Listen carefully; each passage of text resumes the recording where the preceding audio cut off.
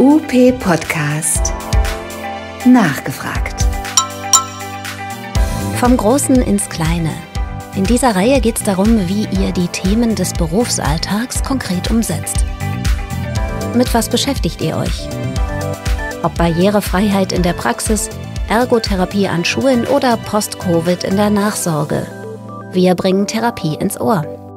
Schön, dass du dabei bist. Wenn du barrierefreie Praxis hörst, denkst du dann an Zugänge und Wegeleitungen für die Patientinnen und Patienten oder auch an das, was eine barrierefreie Praxis für das Team bedeuten kann. Gerade in Zeiten von Personalnot und Fachkräftemangel lohnt es sich da mal Gedanken rein zu investieren. Sonja Bohlen zum Beispiel hat vor allem die Software in ihrer Praxis umgestaltet, damit die Physiotherapeutin Christine Diekmann bei ihr eigenständig arbeiten kann. Wenn du jetzt neugierig bist, bleib dran, denn dann erfährst du mehr. Hallo, ich bin Ralf Buchnert. Ich freue mich, dass ihr zuhört heute. Ich spreche heute mit Christine Dickmann, die Physiotherapeutin ist und ein Handicap hat. Wir sprechen gleich darüber, welches. Und mit ihrer Chefin, der Physiotherapeutin und Osteopathin Sonja Bohlen. Hallo Christine, hallo Sonja. Hallo Ralf. Ich glaube, es wäre am einfachsten, ihr würdet euch einfach kurz selbst vorstellen. Wir fangen mal mit, äh, ja, mit, mit der Chefin fangen wir an. Natürlich machen das mal hierarchisch und sagen, Sonja, äh, kannst du ganz kurz beschreiben, was du machst, wer du bist, wo du wohnst? Ja, ich bin äh, Sonja Bohlen. Ich habe jetzt seit fast zehn Jahren eine Physiotherapiepraxis im Emsland, im schönen äh, Dörpen. Und ähm, ja, bin stetig am Wachsen. Und unsere Christine ist seit dem 1.5.22 hier als Verstärkung in unserem Team dabei. Und Christine, du bist die Verstärkung des Teams. Und genau. erzähl mal, wie du zur Physiotherapie gekommen bist. Da fangen wir doch direkt mal an mit meinem Handicap. Und zwar bin ich von Geburt an blind und habe dementsprechend selber von klein auf über Jahre hinweg Bobat-Therapie bekommen. Und äh, so kam das auch mit meinem Berufswunsch, weil meine Therapeutin mir dann irgendwann mal erzählte, dass sie auch ganz oft die Augen zumacht, um sich einfach mehr auf das Gespür zu konzentrieren. Und äh, ja, so habe ich dann mit, ich glaube, zehn oder elf irgendwie schon entschieden, dass ich das machen möchte. Das finde ich ein ambitioniertes Ziel. Ich kenne das, dass wir früher oft sehbehinderte Masseure hatten. Das ist, glaube ich, Standard. Aber dass, dass man Physiotherapie-Ausbildung absolvieren kann, ohne lesen zu können, das stelle ich mir schwierig vor. Nun ich, habe ich keine Ahnung, wie das ist, blind zu sein, aber ich stelle mir das extrem schwierig vor.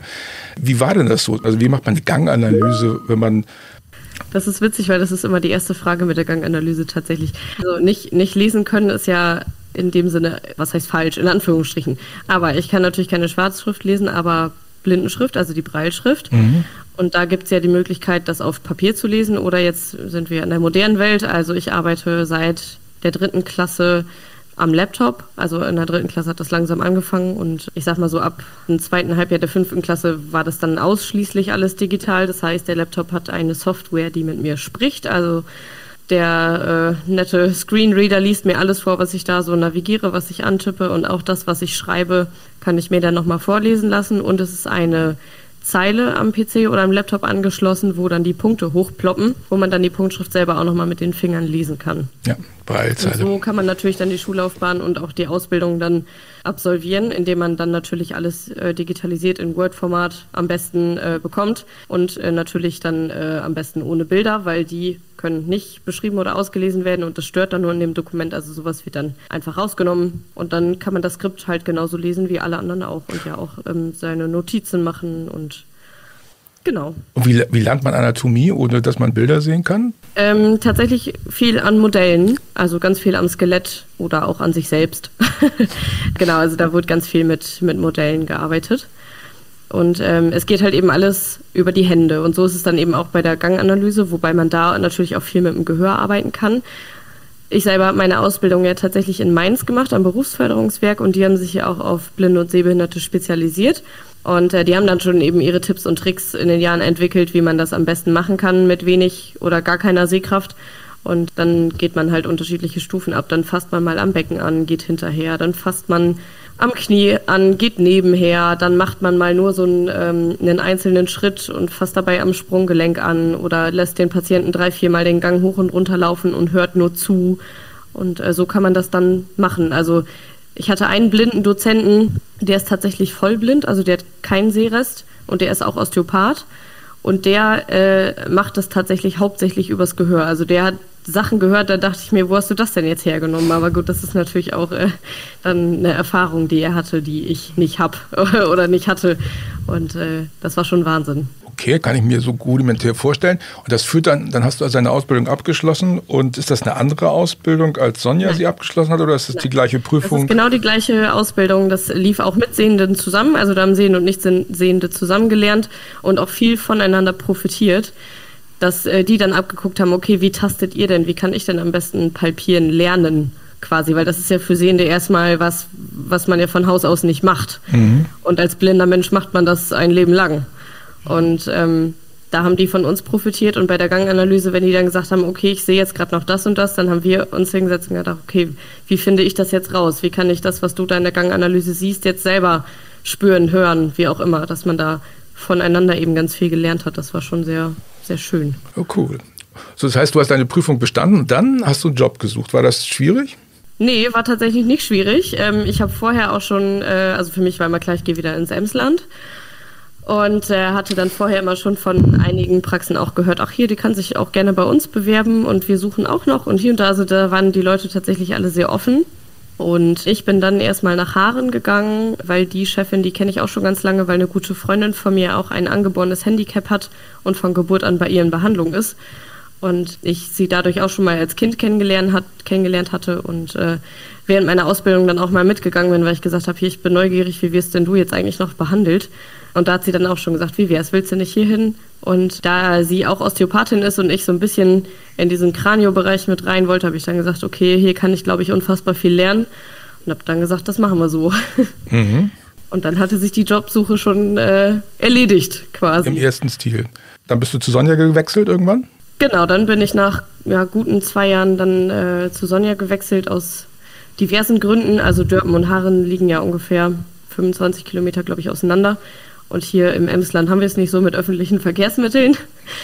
Das heißt, ich musste immer gefahren werden, ähm, was eine sehr, sehr große Abhängigkeit bedeutet hat und äh, irgendwie für mich nachher auch sehr belastend war, weil ich eigentlich jemand bin, der immer doch versucht, unabhängig zu sein. Und ähm, dann hatte ich da leider noch das Pech in Anführungsstrichen, dass das Praxisprogramm leider für mich nicht nutzbar war und ich meine Pläne nicht selber lesen konnte und da auf die Rezeption angewiesen war. Und die haben da auch noch in, in der Karteikarte dokumentiert, also nicht digital, sondern alles auf Papier gemacht. Und ähm, somit habe ich immer sehr eng mit der Rezeption zusammengearbeitet. Das, das hat alles super funktioniert. Das war auch, also ich hatte dann eine sehr schöne Zeit. Aber auf Dauer habe ich gesagt, ich möchte irgendwie dann doch nicht mehr diese Fahrerei vor allem haben. Das stand echt im Vordergrund, dass ich das nicht mehr wollte. Ich wollte selber zur Arbeit gehen können und da irgendwie nicht mehr so andere mit belasten, mit mit meinem Hin- und Herkommen. Mhm. Und äh, genau, dann gesagt, nee, jetzt reicht's, weil dann stand auch an, dass ich meinen Blindenführhund bekomme. Und äh, dann wollte ich das gerne alles vor Ort haben. Jetzt wechseln wir mal zu Sonjas Perspektive. Sonja, du hast gehört, da gibt es jemanden, die, die ist Physiotherapeutin, die ist Osteopathie und Kranio interessiert und will da weitermachen. Mhm. Und die sucht einen Job, will bei ihr arbeiten. Hast du deine Praxis dann mit anderen Augen gesehen, als du das erste Mal gedacht hast, wie kommt man hier als Blinde zurecht?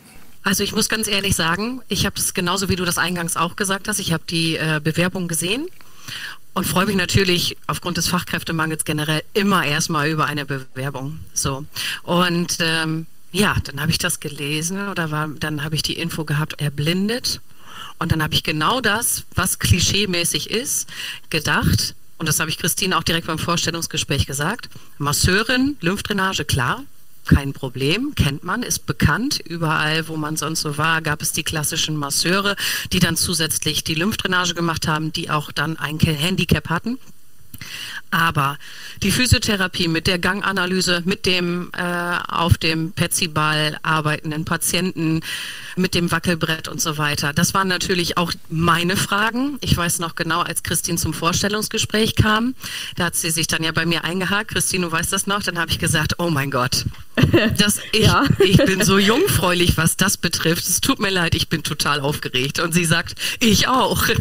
ne? Also wir sind dann zusammen in dem Raum und ähm, von uns war, beiden war ganz klar, okay, wir müssen da ganz offen und klar kommunizieren und äh, habe auch gesagt, dass, ich bin dann so ein Typ, der tendenziell auch gerne in Fettnäpfchen tritt. Also bitte nimm es nicht persönlich, wenn ich da irgendwas Indiskretes frage.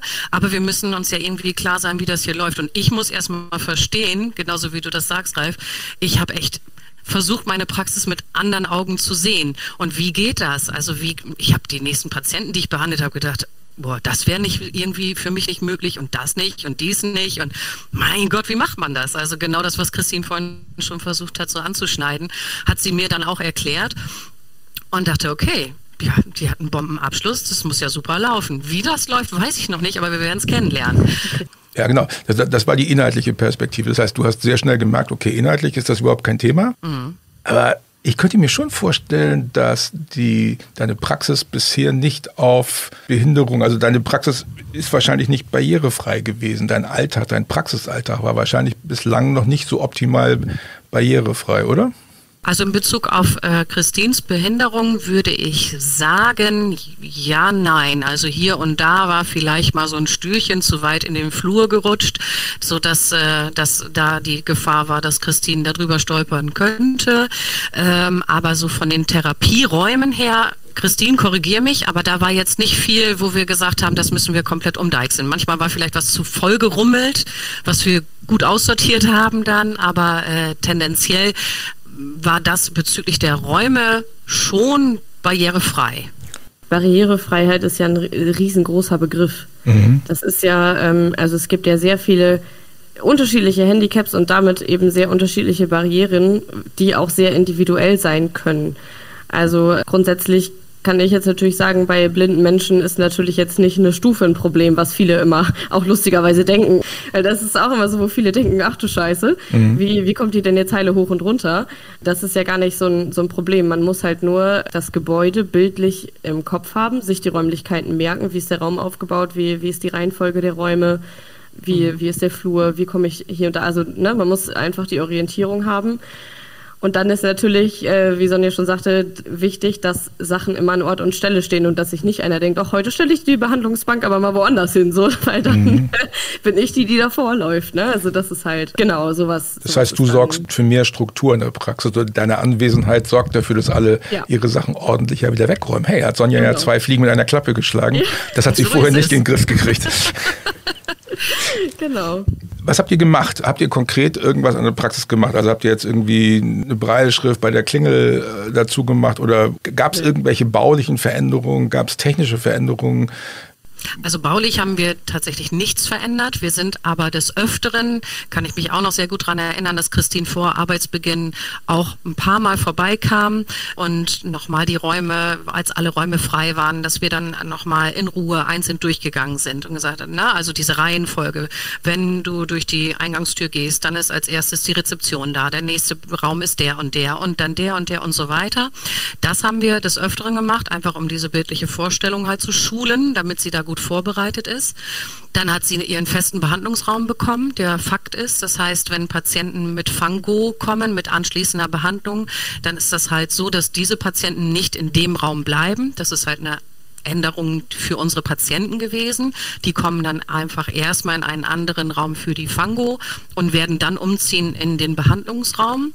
Technisch muss da, äh, musste schon was passieren. Also wir ich war ja ganz, ganz froh, dass wir nicht mehr in der Karteikarte dokumentieren mhm. und dass wir das alles vollständig digitalisiert haben, wo ich dann auch gesagt habe, das ist schon mal eine, eine, äh, ein sehr großer Schritt, dass da nicht die große Barriere ist, denn wenn man sich vorstellt, man arbeitet ähm, mit in, in der KG in einer 20-Minuten-Taktung und man müsste in dieser 20-Minuten-Taktung jedes Mal nach vorne gehen zur Rezeption und fragen, was hat denn dieser Patient und kannst du bitte das aufschreiben, was ich gemacht habe, händisch in der Karteikarte oder ich habe eine Urlaubsvertretung. Ja, ich, ich weiß nicht, was die Kollegen da händisch äh, irgendwo reingekritzelt haben. Ist nicht lesbar. Ja. Das, das ist halt was, wo ich gesagt habe, boah, super, da bin ich ja schon mal einen Schritt weiter. Da kann ich ja als Arbeitgeber mit punkten. Ja. Christine, du kannst zu uns ja. kommen, wir haben alles technisch. Es musste schon noch was passieren. Klar. Das ist auch passiert, das musste noch umgeschrieben geschrieben werden, das Programm, oder angepasst werden. Aber ähm, somit hat Christine da auch einen, einen sehr, sehr großen Schritt in die Selbstständigkeit noch weiter erlangt, ähm, dass wir von vornherein auch gemerkt haben, okay, wir haben viele Fälle durchgespielt und was wäre wenn und was brauchst du und wo bist du bei deinem anderen Arbeitgeber, weil da hatte sie ja schon einen Erfahrungswert. Ich wiederum jungfräulich, also war der Aufhänger immer, wo waren die Barrieren bei deinem vorherigen Arbeitgeber, was das betrifft. Und da war einfach ein ganz, ganz großer Schritt der Erleichterung. Christine ist ein Mensch, die möchte einfach super eigenständig sein und das, ich sag so, wie es ist, sie fällt hier ähm, nicht auf, dass es ein Handicap ist. Mhm. Okay. Das stimmt. Das sagen die Patienten ja auch immer. Also ich sage wenn ich einen neuen Patienten habe, sage ich denen das immer. Weil ich laufe jetzt ja nicht mit Stock äh, durchs Gebäude oder so. Also ich laufe da halt völlig frei wie jeder andere auch. Mhm. Und man sieht es dann mir ja so in dem Sinne nicht an. Also wenn jetzt jemand genau auf meine Augen guckt, dann äh, es gibt Leute, die haben sowas schon mal gesehen, denen fällt das dann schon auf, weil ich einen Nystagmus habe. Also die Augen bewegen sich die ganze Zeit. Äh, wenn jemand ein bisschen geschult ist, dann kommt er schon auf die Idee, okay, da könnte was sein. Ähm, aber dass ich dann so wenig sehe, wie ich tatsächlich sehe, da kommen die meisten Leute nicht drauf. Deswegen informiere ich die Patienten da immer drüber und dann sind die mhm. ganz oft sehr perplex irgendwie. Und manchmal wissen die auch nicht so, was die mit der Information anfangen sollen. Aber ich sage immer nur, ja, ich sage es lieber vorher, sonst kommt es irgendwie zu Situationen, wo sie mir was zeigen. Ich habe hier und da und überhaupt und dann schmeißen sie mir am besten nur ihre Schuhe in den Weg und das wäre sehr unpraktisch für beide Seiten. Aber das könnte ja eigentlich, eigentlich müsste das ja eine Verbesserung deiner Therapie sein, der, der, der, bei der Compliance der Patienten, die müssen ja viel besser beschreiben, genau. ähm, was sie eigentlich haben und müssen das besser in Worte fassen. Kann ich einfach sagen, ja, guck mal hier, da tut es weh oder sowas? Nee, und da, da bin ich sowieso, also ich arbeite ganz, ganz viel mit Körperwahrnehmung. Mhm. Ähm, weil ich ja eben diesen visuellen Teil ziemlich, ja, logischerweise ausgeschaltet habe oder den auch in der Therapie eigentlich ziemlich ausschalte, sondern ich möchte, dass die Patienten lernen, sich zu spüren und lernen auch mit ihrem Körper umzugehen oder lernen da irgendwie, dass der Körper ihnen da vielleicht irgendwas mit sagt oder ne, was, mhm. was kann ich an mir irgendwie verändern. Also es ist eigentlich ein Up Upgrade der herkömmlichen genau. Physiotherapie, ne? Genau, weil die Leute müssen lernen, äh, besser mit sich und ihrem Körper oder ne, so in, im Einklang zu sein quasi. Und das ist eigentlich, glaube ich, auch für den Patienten ganz gut. Und da habe ich schon ganz viel gutes Feedback bekommen, auch beim Übungen machen, weil ich ja immer mit meinen Händen dann am Patienten bin, um die halt zu korrigieren, um wahrzunehmen, okay, wie, wie führt er gerade die Übung aus, die ich angeleitet habe. Und ähm, da hatte ich auch schon wirklich Patienten auch über längere Zeit, die dann gesagt haben, jetzt fühle ich mich viel sicherer, auch wenn ich die Sachen zu Hause mache, weil ich einen ganz anderen Ansatz habe, irgendwie, du hast mich da mal hinbewegt, wo, wo mein Körper hin soll. Ich habe das gespürt und die können dann mit so taktilen Reizen ganz anders irgendwie umgehen. Also das, das hat schon auch viele positive Effekte. Kannst du auch sowas anleiten wie KG-Gerät? Also macht ihr sowas? Nee, machen wir jetzt nicht. Gab es an meiner alten Stelle, habe ich aber nicht gemacht. Es gibt Leute, die, also auch Blinde und Sehbehinderte, die machen das total gerne. Mhm. Ich bin lieber auf der Matte und auf dem Petsyball und Eriks Pet und so. Also äh, Geräte ist äh, nicht so ganz meine Welt. Okay, gut. Aber das ist äh, ein persönliches Ding einfach. Da kann ich auch immer nur für mich sprechen. Also es gibt, also ich zum Beispiel bin jetzt auch nicht der, der Mensch, der sagt, oh, geil, Reha-Sport, bin ich sofort dabei, eine Gruppe von 20 Leuten. Das ähm, ich bin einfach auch sehr, sehr perfektionistisch. Ich möchte gerne für jeden Einzelnen da sein und jeden auch sehr vernünftig korrigieren. Und wenn man da so eine große Gruppe hat und die Zeit eben sehr begrenzt ist, dann ist das nicht so machbar, wie ich das gerne machen möchte. Und das stresst mich dann mehr, als dass ich da Spaß dran habe. Ich kenne aber auch äh, Blinde, die das total gerne machen. Genau, das ist auch immer wieder sehr unterschiedlich. Jetzt haben wir festgestellt, die Patienten geben positives Feedback. Jetzt bin ich ja mal gespannt, Sonja, du hast ja noch andere Mitarbeiterinnen und Mitarbeiter in deiner Praxis. Wie haben die dann auf dich reagiert, als du gesagt hast, ey Leute, ich habe meine Blinde eingestellt? Ja, es war folgende, folgende Situation. Wir hatten das Vorstellungsgespräch. Ich habe gesagt, wow, super. Christine und ich sind auf einem Nenner. Das klappt, das kriegen wir hin. Aber natürlich wussten wir ja noch nicht, wie wirklich der Alltag so aussieht. Christine hatte ihren Erfahrungswert. Wir hatten noch gar keinen Erfahrungswert, was das betrifft. Und naja, räumlich passte das soweit, aber es kam ja der ja, der Tagesablauf, der Alltag, wo jeder Therapeut seinen, seinen Plan voll hat und die stramme Taktung hat, wo jede Rezeptionskraft manchmal mit qualmenden Ohren vorne sitzt. Entschuldigung, Dann, welche Taktung habt ihr? 20 Minuten okay, Taktung für die KG. Mhm. Genau. Und dann, ähm, ja, dann habe ich das so mitgeteilt, freudig in der Teamsitzung. Leute, jetzt, wir haben endlich äh, bald eine neue Mitarbeiterin, eine tolle neue Kollegin, die ist Physiotherapeutin und die ist erblindet. Okay. Natürlich haben die genauso gerattert wie alle, ne? mhm. ne? wie alle, wie ich selber auch. Und dann ging das natürlich los. Ne? Wir wollen, äh, wollen der Frau ja nicht zu nahe treten, wir kennen sie ja noch gar nicht, aber wir wollen ja auch wohl helfen. Natürlich wollen wir helfen, aber wann sollen wir das denn noch schaffen? Die hatten alle Sorge, dass sie dem auch nicht gerecht werden können, weil man nicht wusste, was steht einem bevor. Wie viel Unterstützung ist notwendig? Und natürlich möchte man sowieso keinem Arbeitskollegen sagen, du, ich habe da keine Zeit für und ich möchte den jetzt gerade abwürgen. Also alle sind hier sehr Teamplayer-mäßig unterwegs worum ich auch sehr stolz und glücklich bin. Aber äh, wenn man dann noch eine, eine Kollegin hat, die neu in, in der Praxis im Team ist und ein Handicap hat, die dann noch abzuwürgen und alle Therapeuten und auch die Rezeptionskräfte haben alle ein Helfersyndrom, äh, da kommen die natürlich mit ihrem Gewissen auch nicht zurecht. Und das war eine eine große, große Aufregung, was nachher sich alles beruhigt hat. Also ähm, wir hatten ja dann, wie gesagt, im Vorfeld vieles auch technisch geklärt und es lief auch von vornherein ähm, gut an, sehr gut an. Wir haben wirklich nur, nur kleine, Kleinstkleinigkeiten so im, nach drei Monaten so gesagt, Mensch, das könnten wir noch wo anpassen, dies. Aber es, dadurch, dass sie auch wirklich so ein, ein guter Selbstläufer ist, ähm, wir waren ja selber alle erstaunt, dass sie nach der Teamsitzung flitzt sie als erstes vor und, und geht durch den Flur und, und äh, spürt, dass da Patienten sitzen und guckt in die Richtung und sagt Guten Morgen. Und die Patienten, die dann nach mir, nach der Teamsitzung in die Behandlung gehen, sagen, hey, darf ich mal was fragen? Ja. Ist das die erblindete Therapeutin gewesen, die da jetzt gerade so, so ganz normal durch den Flur gegangen ist? Die hat nur so ein bisschen an mir vorbeigeguckt. Das könnte die doch sein. Ich sage, ja, genau, das ist sie. Mhm. Also es war viel Aufregung da, weil einfach diese Ungewissheit da war. Was kommt auf uns zu? Okay, lass uns mal kurz zu den wirtschaftlichen Rahmenbedingungen hingehen. Wenn man jemanden mit Einschränkungen anstellt, dann gibt es ja sowas wie Eingliederungszuschuss als Zuschuss zum Arbeitsentgelt. Nimmst du sowas in Anspruch? Also das, was wir in Anspruch nehmen, das ist folgendes. Wir haben bei Christine die Taktung nicht in 20-Minuten-Taktung geplant, sondern in 30-Minuten-Taktung für die KG, so dass einfach ein, etwas mehr Puffer da ist, weil ich den Fokus einfach auch, so wie Christine auch von ihrer Persönlichkeit ist, auf diese Eigenständigkeit ähm, umsetzen wollte. Und diese Fördermöglichkeit, die dann da ist, habe ich so umgesetzt, dass diese 10 Minuten Puffer, die mal da sind, wäre ja letztendlich traurige Zeit, weil kein Ein keine Einnahme in der Zeit da ist. Und das ist im Prinzip umgerechnet das, was ich als Ausgleich bekomme, mhm. so dass sie auch von, von ihrem Lohn gleichgestellt ist mit allen anderen Therapeuten, wobei der Umsatz dann dementsprechend ja nicht so hoch ist wie bei den anderen Therapeuten, weil sie die Taktung nicht so, so stramm hat. Ne? Ein Drittel, ähm, ein Drittel weniger Umsatz, ganz genau. schlicht und ergreifend.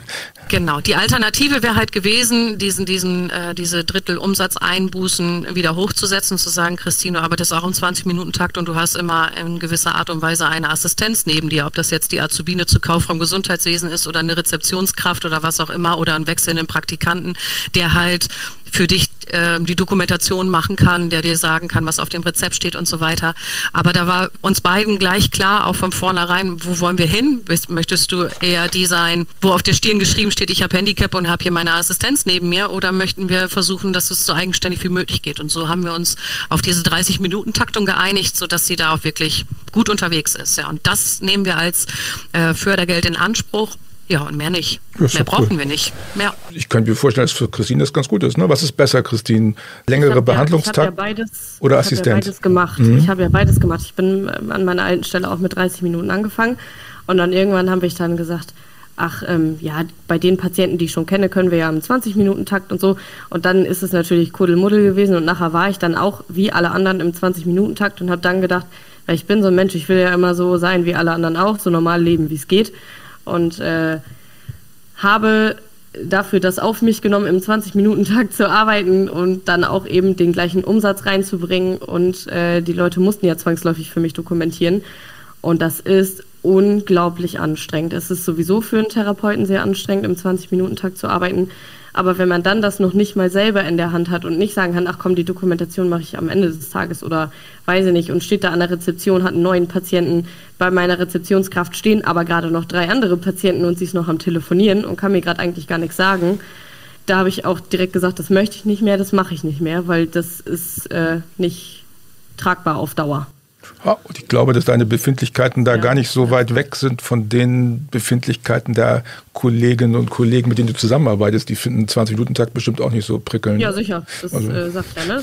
Wenn, wenn ihr jetzt mal das so Revue passieren lasst, wenn jetzt andere Praxen das hören andere, und, und überlegen, mh, hm, Gibt es noch mehr Physiotherapeutinnen, Physiotherapeuten, die eine Sehbehinderung haben? Oder bist du ein, bist du ein Ausnahmefall, Christine? Ist nee, das eher selten? ich bin definitiv kein Ausnahmefall, aber ich war jetzt gerade am überlegen, ob ich hier im Emsland jetzt noch jemanden kenne. Ähm, also es gibt öfter, glaube ich, in den Kliniken immer noch so ältere Masseure, sage ich mal, ja. Äh, dass jetzt irgendwo jemand Blindes in der Praxis arbeitet, gab es hier in der Nähe auch schon mal. Und in Papenburg gibt es, glaube ich, auch noch einen Sehbehindertentherapeuten, der eine eigene Praxis hat. Ähm, also es gibt es schon, schon häufiger. Wir haben Fachkräftemangel. Äh, alle sind daran interessiert, jede Fachkraft, derer man habhaft werden kann, sofort einzustellen. Genau. Dann kann man ja auch aktiv auf Leute zugehen. Dann musst du nicht suchen, sondern dann kriegst du, bewerben sich die Praxischefinnen und Chefs bei dir. Das ist ja zurzeit so der Standard. Was würdet ihr anders machen, wenn ihr jetzt nochmal starten würdet? War das okay so? Ist das gut so, dass man sich so, so aneinander ranrobbt und sagt, ey komm, wir nehmen das einfach, wie es kommt und gehen das ganz pragmatisch an? Oder wenn ihr jetzt zurück, zurückblickt, würdet ihr irgendwas anders machen? Also äh, man kann das nicht von vornherein fertig planen. Man muss das ein bisschen auf sich zukommen lassen, weil man ja auch nun mal als Team arbeitet und wenn man das Team so noch nicht kennt oder sich gegenseitig nicht kennt, dann ist das ja normal, dass man sich erstmal einspielen muss. Man lernt sich kennen, wer arbeitet wie, wer ist wie schnell gestresst oder ne? Es ist ja, man muss ja irgendwie ein bisschen gucken, dass jeder jeden so nimmt, wie er dann halt ist oder dass man sich auch mal gegenseitig auffängt und so. Ähm, und dass man einfach offen kommuniziert halt, ne? Wenn, also das war immer, wenn ich, wenn mir noch irgendwas gefehlt hat, wenn mir irgendwas aufgefallen ist, ah, okay, da könnten wir noch irgendwie das und das machen, dann habe ich das auch gesagt. Oder wenn Sonja noch was aufgefallen ist, hat sie das gesagt. Und die Rezeption genauso. Und ähm, alles, was wir vorbereiten konnten, haben wir vorbereitet. Also ich glaube, das haben wir schon ganz gut hingekriegt. Sonja? Also ich, ähm, ich kann das nur bestätigen. Eingangs habe ich gleich gesagt, wir müssen ganz offen und ehrlich darüber sprechen. Und das ist hier auch der Grundsatz im Alltag. Gerade, ja, wir sind alle nur Menschen und wir möchten natürlich, ich möchte Christine nicht auf dem Schlips treten ähm, und ich möchte nicht zu plump sein, aber bei manchen Dingen, äh, das ist einfach die Grundvoraussetzung. Man muss von beiden Seiten, muss man offen und ehrlich sein und sagen, Mensch, vielleicht formuliere ich das jetzt gerade nicht vernünftig oder, äh, oder Christine denkt vielleicht, Mensch, das hätte Sonja sich doch denken können oder was auch immer. Man muss einfach, und das haben wir meiner Meinung nach auch getan, offen und ehrlich darüber kommunizieren und ganz klar auch dann auch gemeinsam das erarbeiten und das hat prima geklappt. Jetzt würde mich natürlich auch interessieren, wenn ich bei dir arbeiten würde und sehen würde, dass Christine im, im Halbstundentakt arbeitet und ich sehe, dass sie auch echt gut damit klarkommt und für die Patienten das gut ist, dann würde ich ja irgendwann auf die Idee kommen, als Mitarbeiterin zu sagen, boah, Sonja, was hältst du davon, wenn wir alle mal im 30-Minuten-Takt arbeiten? Also besteht die Gefahr? Gab es schon mal eine Diskussion zu dem Thema?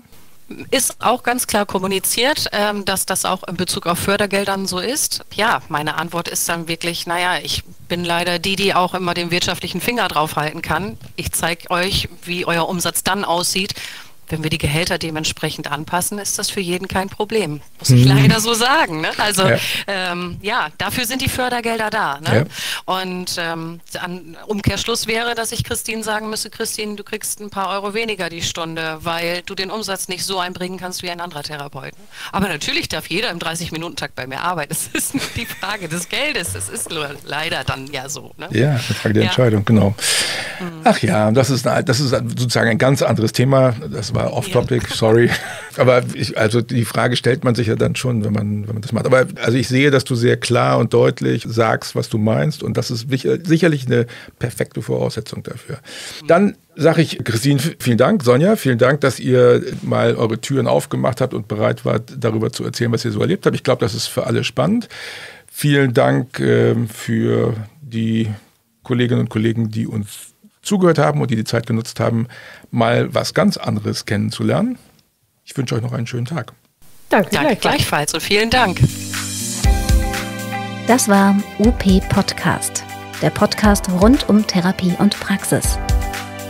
Wir sind zu finden bei Spotify, Deezer, Google Podcasts und Apple Podcasts und natürlich auch auf up-aktuell.de slash podcast. Folgt uns und teilt uns und hinterlasst uns eure Bewertung bei Instagram, Facebook oder YouTube. Bis zum nächsten Mal.